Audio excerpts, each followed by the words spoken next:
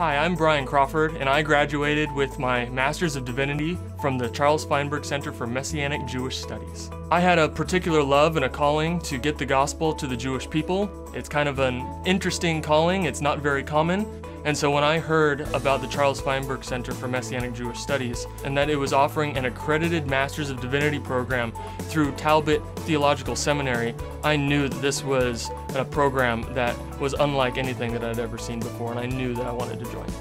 Five years ago, the idea of going up to an Orthodox Jewish person and sharing the gospel with them would have been very intimidating to me.